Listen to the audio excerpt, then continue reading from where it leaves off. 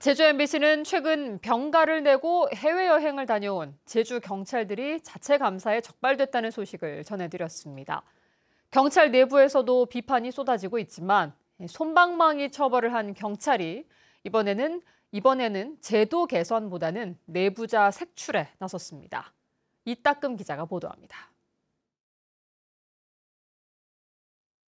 지난 7월 제주경찰청이 본청 지시로 벌인 병가 중 해외여행 특별 점검. 조사 결과 소속 경찰 4명이 병가 중에 해외여행을 다녀온 것으로 드러났습니다.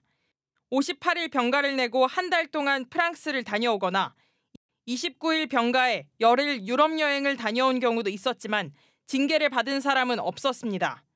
MBC 보도 이후 경찰 내부에서도 비판의 목소리가 이어졌습니다.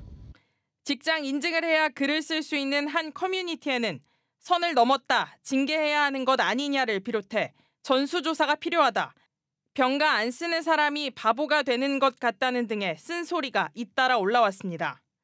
그런데 경찰은 보도 직후 내부 감사 결과가 언론에 유출됐다며 제보자 색출에 나섰습니다. 단순히 유출 경위를 파악하는 차원을 넘어 유출자를 사법 처리하는 정식 수사에 돌입한 겁니다.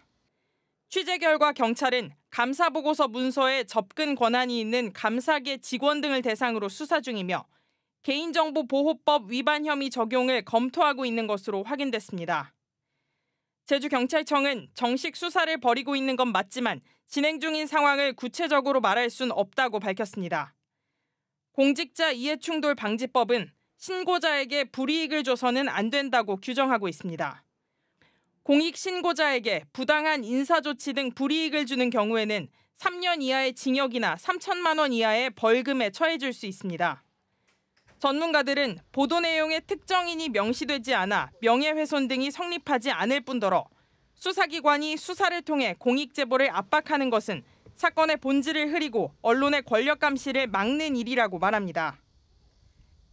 부당한 수사고요. 내부자만이 알 수 있는 정보를 가지고 내부 고발 또는 공익 제보를 했는데 그 공익 제보자를 오히려 수사한다는 것은 사건의 본질을 호도하려는 사건의 본질을 감추려는 부당하고 위법한 수사로 보입니다.